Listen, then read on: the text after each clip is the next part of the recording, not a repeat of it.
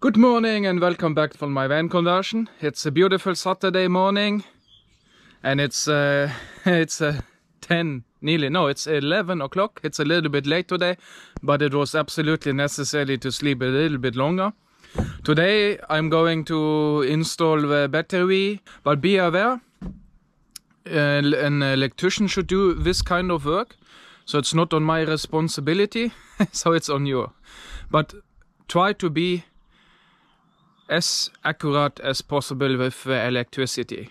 And you need to use right size of the cables and not use only small cables. Just be aware about it.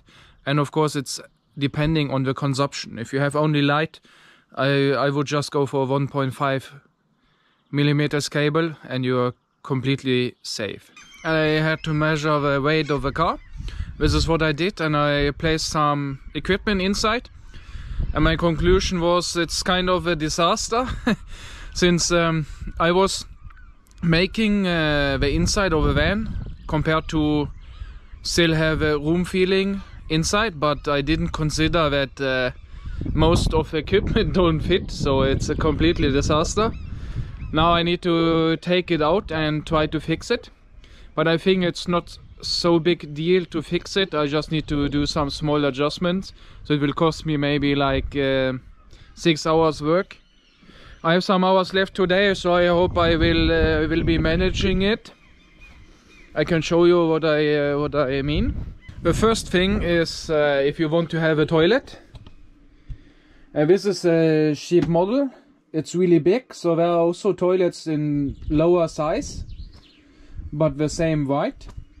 And uh, I have not considered where if it should fit or not. You can take it apart, but I think it will smell. So my plan is now to place the toilet here in the corner.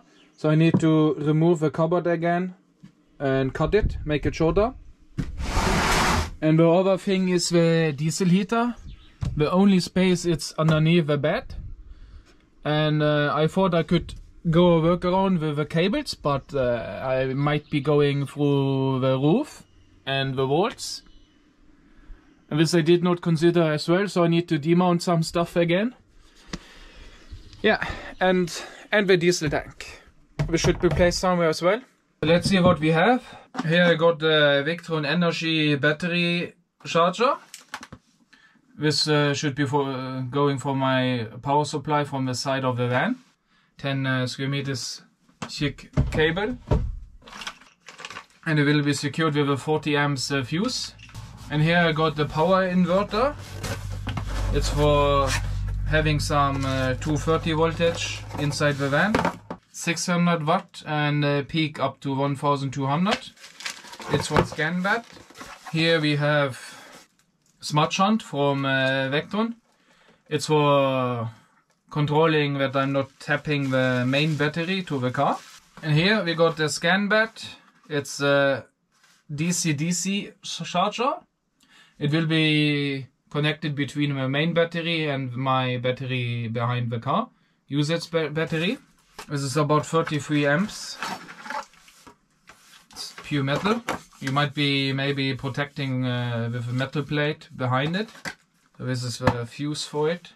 Just some more cables. It's uh, 16 square millimeters. This will be connection between my two batteries. And here you have the most interesting part. It's the solar charger for monitoring uh, everything. And this will be the main plus and the main minus. This is the connector for my uh, outside socket to a standard socket. So just plug and play. That's all. And I have a fuse box for my uh, usage uh, stuff like uh, fridge and lights and so on. This will be connected here. I have now the battery. Our where is the battery fuse? Here's the shunt. And here I have a inverter, 600 watt. Here I have my fuses. This is my solar regulator. This is plus and minus. I need to make a cover to it. And here's my DC-DC charger And this is my battery charger. So everything is prepared to connect. I just need to buy some proper tool for connecting the big cables and the small ones. And then I can get started and make a guide for you about the electricity. So, see you next time.